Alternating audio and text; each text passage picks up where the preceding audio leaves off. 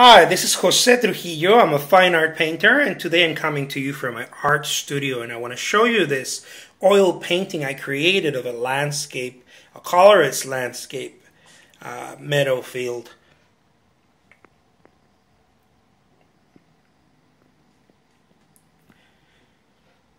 I love using bright color. It's one of the things I, I enjoy the most, and you'll see uh, uh, very much in, in most of my work, or all of my work, um, a very loose brushwork.